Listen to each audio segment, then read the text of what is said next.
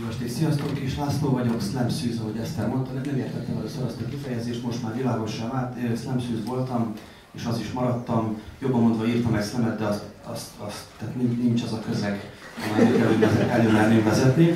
Úgyhogy maradok a tört prózánál, Petivel meg is beszéltük a, a levélváltásokor, hogy a tört prózát bírja a legjobban a műfaj, megbeszéltük azt hogy ő mondta, hogy a tört prózát bírja a legjobban a műfaj, aztán azon gondolkoztam telepestől, mit jelent az a tört próza. Szegény gazdagok. A gazdájára váró kerékpár búslakodása a kocsma elé kikötött szamárihoz hasonlatos. Hát még ha a gazda a szomszédvárban mulatja az időt. Ne csodálkozzon az ilyen himpellér, ha a buszról leszállva arra lesz figyelmes, kámforrá vált a kormányra rögzített világító test. Ült hely, és az eső, mint valami részleg flagellás, össze-vissza csapkod. Elkeseredésében mit tehet a gazdától, teker hazafelé a krimibe illő sötétben, kerékpárja ékén, csonka foglalat. Valaki jól járt. Hanem aztán merre? Menjen az élővíz csatorna partján. A vidrák nem köpik be, a récék alszanak. Csak hogy ez nagy kerülő, nagyobb, mint amit az otthon nyújtott, a megkönnyebbülésre vágyó gazda elbír. Talán a töltőállomás magyarosan egészséges zöldje hat rá, talán a kis román templom jótékony fényei csábítják, de a főutat választja. Hogy csinálta? Hogyan kell az ilyet csinálni? Egy volt a buszra váró közül egy melegítős. Vagy Audiából ugrott is, úgy? Edzésről érkezett, és akkor levezető etap a Tesco után. Diákcsíny, felnőtt csíny, hajléktalan csíny. Egy marokban elfér, alig nagyobb a diónál. Ha egyszer nyomja meg, lelkesen villog, ha kétszer, hűségesen világít. Milyen lehetett a pillanat, amelyben jó ötletnek tűnt elemelni? Ennyire el tud menni az ész, vagy sose volt ott semmi, hűlt hely. Kicsi a gazda, de nagyobb boldogtalansága. Teker hazafelé, csonka foglalat. Azám, de mit mond, ha lefüleli a járőr? Hogy tegnap rakta fel Feri bácsi a szerelő és íme? Hazugság volna, egy hete tette fel Feri bácsi a szerelő, és íme. Az igazság ez, a hazámban lógnak. Nem tudtam volna tolni. Elütnek. A járdán nem tudtam volna. Miért is? Összehugyazok magam, mire hazaérek. Ivott? Nem, csak három sört, de csapán. Hogyan tanítsam bocskait, ha nem iszom? Bűncselekmény, valaki jól járt. Alkalmazkodj hozzám, mondja a polgárának az ország. Jó, feleli az, nem jó.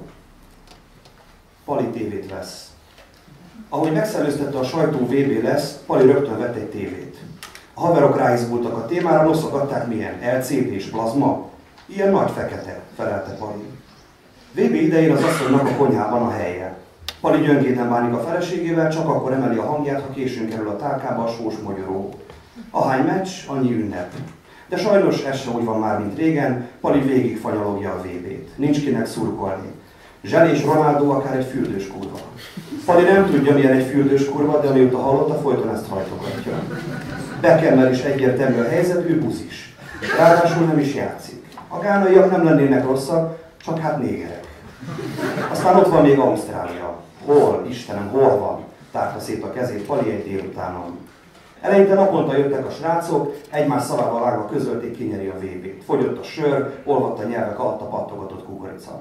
Aztán elmaradtak, elunták egymást. Néhányan elhíztak, Pali is.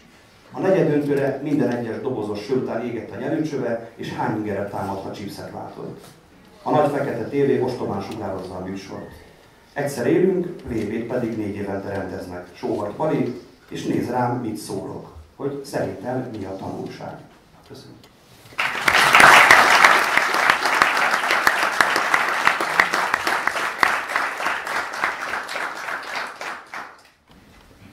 Sütögettünk a rockerrel.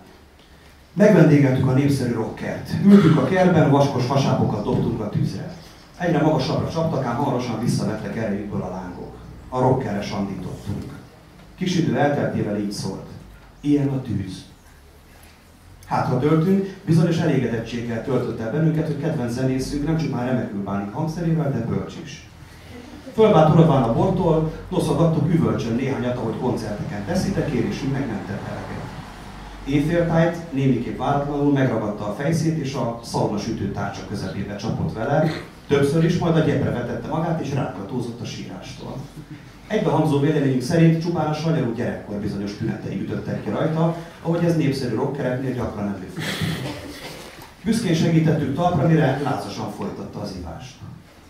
Hajnal közelettével föltámogattuk az emeletre.